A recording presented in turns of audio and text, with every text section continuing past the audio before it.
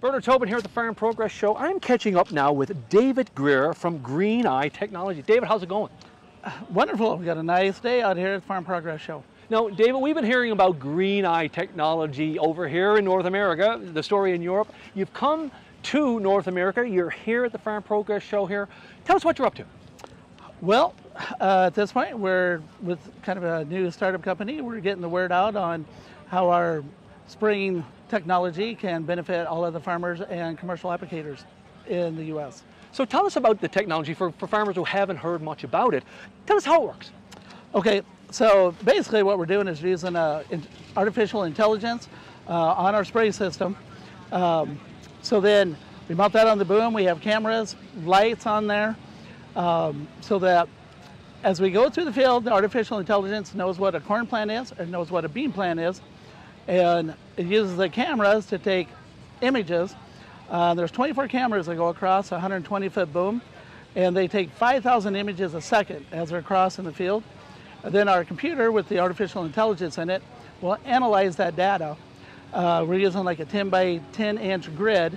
If there's a weed in that spot, then it'll turn on our spot spray and spray that weed. Um, so with that in mind, we did a study with the University of Nebraska.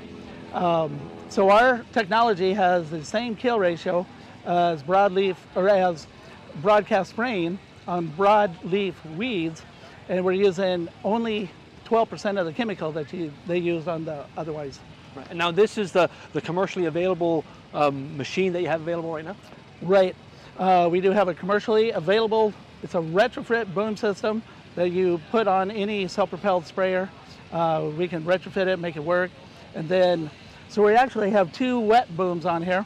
So you're putting down your pre-emergence to kill your weeds that haven't come up yet. And then on the second wet boom is where we have our system that spot sprays, and those nozzle bodies are spaced every 10 inches going across the boom. So David, you've been testing this and working with farmers on corn and soybeans in the U.S. It's 2022. Where do you go from here? So the next thing that we have on the list is we're going to be getting cotton ready uh, to put in the system. Uh, they use, they do a lot of passes in cotton, so we're going to get that initialized. And what we have to do is go out and take many, many pictures of cotton from the time it comes out of the ground and grows. So we take drone images of that so that our computer knows what that is. Uh, and then we need to do that with milo and all the other crops that we want to be able to use our sprayer into next. Yeah. And now up in Canada, grow a lot of canola, grow a lot of wheat. Where are we on, the, say, the development or timeline for, for make crossing the border? Well, that it's just like everything else. It all takes time, so that's going to be in the works here shortly. Um, so we want to get that done so we can move into those markets, and we got to build up our tech support before we actually move our, our systems into Canada. Obviously, uh, we'd like to say we're not going to have a problem, but you still got to have the support in case somebody hits a telephone pole or something and breaks something off.